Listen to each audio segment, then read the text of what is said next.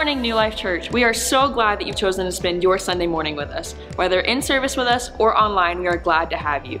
If you're new with us or need to update your information, please do so on the Connect card, which you can find on our app. If you haven't already, we'd encourage you to download the New Life Pierre app from any app store. You can find it by searching New Life Pierre. This week on the app, I want to highlight the Giving tab.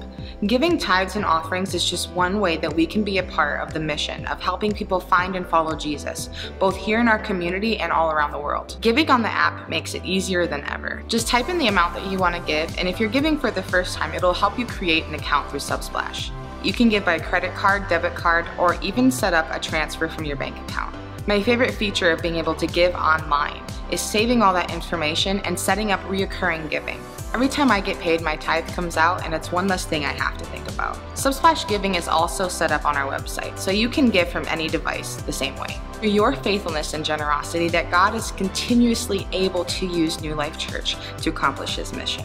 Thank you for doing your part in helping us keep our in-person ministries open. If you have any COVID-related symptoms, such as a fever or you're not feeling well, or you've been asked to quarantine by your work, school, or a doctor, we ask that you please do so.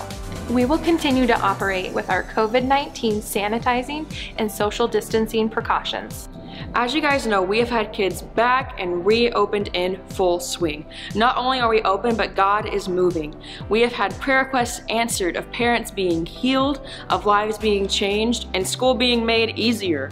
Who wouldn't want to hear about that?